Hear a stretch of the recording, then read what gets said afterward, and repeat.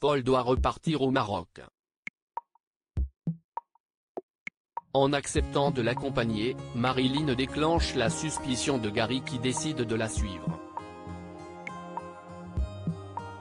Sur place, il donne des conseils pour faire prospérer l'hôtel de Paul.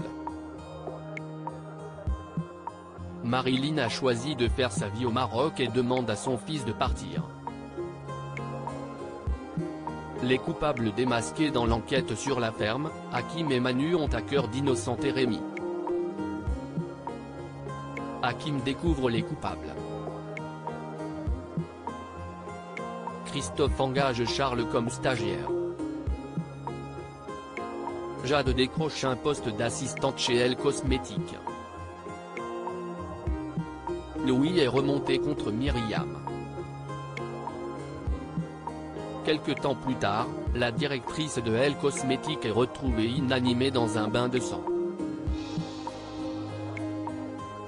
L'info en plus le départ de la série d'Elisabeth Margoni, Marilyn, a pour cadre le Maroc. L'intrigue qui démarre signe aussi le départ de Pauline Paolini, Myriam.